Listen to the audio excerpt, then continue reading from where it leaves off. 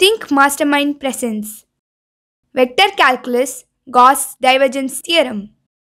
After watching this video, please subscribe, like and share.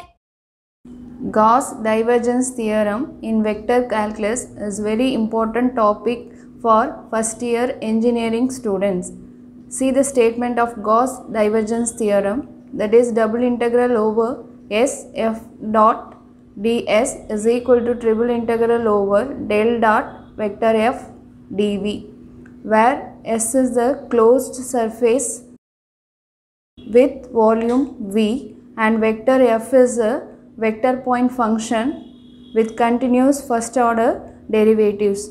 Just we will see the Gauss divergence theorem by using the problem.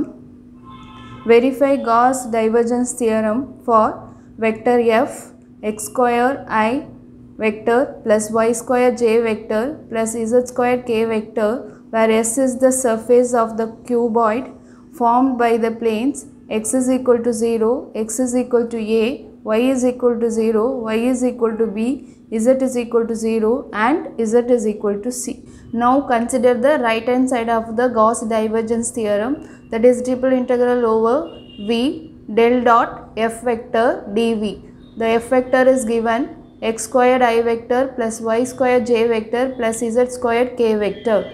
So we know that del operator is equal to dou by dou x of i vector plus dou by dou y of j vector plus dou by dou z of k vector. So now we are going to find del dot f vector. We know that i dot i vector is equal to 1, j vector dot j vector is equal to 1, k vector dot k vector is equal to 1. The different dot product of vector is equal to 0. That is similarly vector i dot k vector is equal to 0. Using that del dot f vector is equal to dou by dou x of x squared plus dou by dou y of y square plus dou by dou z of z square. Differentiating that you getting 2x plus 2y plus 2z. dv is dx, dy, dz. Using these result in the right hand side of the Gauss divergence theorem, you can write triple integral over 2x plus 2y plus 2z dv. That is using the range of x, y, z I have to write the limit of the triple integral 0 to a, 0 to b, 0 to c, 2x plus 2y plus 2z dx, dy, dz. That is equal to integrating with respect to x. The corresponding x limit is 0 to a. So integrating you can find the result 2 times of x squared by 2. The integration of x with respect to x is x squared by 2. The integration of 2y with respect to x is 2yx. Integration of 2z with respect to x is 2zx. And substituting the limit 0 to a for the variable x, you, get, you can identify the result a square plus 2ay plus 2az into dy dz.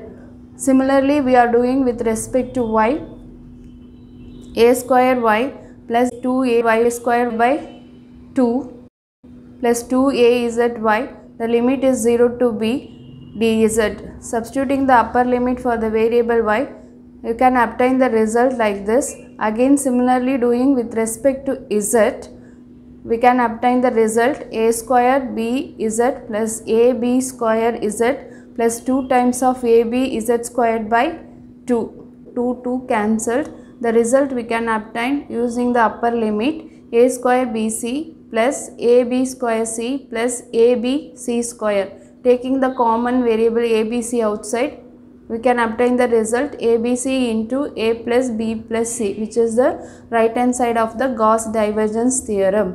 Now we are going to see the left hand side double integral over s f vector dot ds vector where f vector is given x square i vector plus y square j vector plus z square k vector and you are considering the surface of the cuboid as 6 surface that is S1, S2, S3, S4, S5, S6. Here S4 outward unit normal vector is J along y is equal to B. Similarly y is equal to 0 n unit vector is minus J. So using this concept I can write S1 unit normal vector is minus I and x is equal to 0. Similarly, S2 n unit vector is i vector along x is equal to a. S3 y is equal to 0 minus j vector where y value is 0. S4 y is equal to b n unit vector is j vector. In S5 z is equal to 0 n unit vector is minus k vector. In S6 z is equal to c n unit vector is equal to k vector. Using the result in vector f dot n unit vector ds the first one 0 along S2 a square, along S3 0, along S4 b square, along S5 0 and S6 c square. So using this result, the S1 value is 0, S3 is 0, S5 is 0. Remaining you having the surface S2 is a square dy dz, b square dx dz and S6 c square dx dy. Using left hand side of Gauss divergence theorem, sum of surface S1 plus S2 plus S3 plus S4 plus S5 plus S6. Here S1 is 0, S3 is 0, S5 is 0. So remaining surface integral are S2, S4, S6.